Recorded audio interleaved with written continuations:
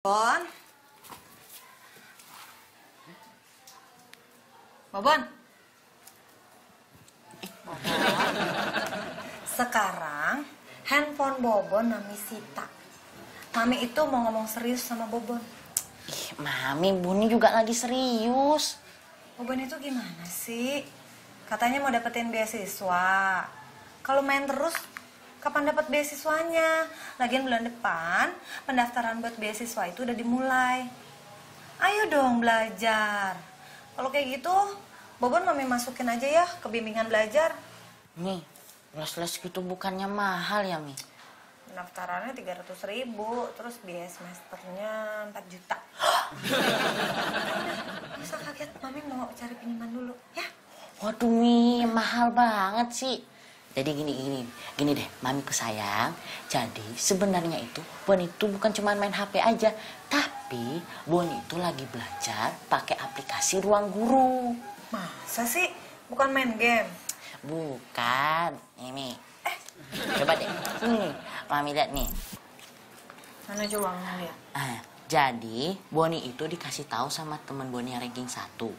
Katanya kalau belajar di aplikasi Ruang Guru tuh lebih ngerti daripada di sekolah. Hmm. Nah, ini nih Mi, ini kan ada materinya nih Mi. Tuh, materinya banyak banget. Ada matematika, biologi, oh, terus tuh, hmm, kan? Ini IPA ya? Mm-mm.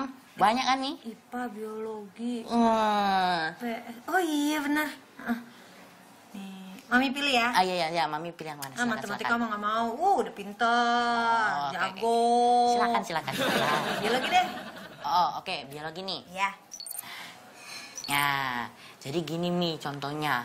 Boni itu belajar dari video yang beranimasi. Nah, terus nanti ada soal latihan sama baca rangkumannya Mi. Nah, udah gitu nih, bayarnya cuma 600 ribuan aja setahun. Yang benar. Iya, hmm. Oh, jadi aplikasi ruang guru itu kayak gini ya? Hmm. Hebat ih bisa begini. Eh, anak mami cerdas banget. Iya dong Mi. Boni zaman now. Eh, Bobon itu anaknya Mulyadi loh, bukan anak zaman now. Mami jadi bisa hemat ya. Iya Mi, jadi kalau gini, Mami tuh lebih hemat.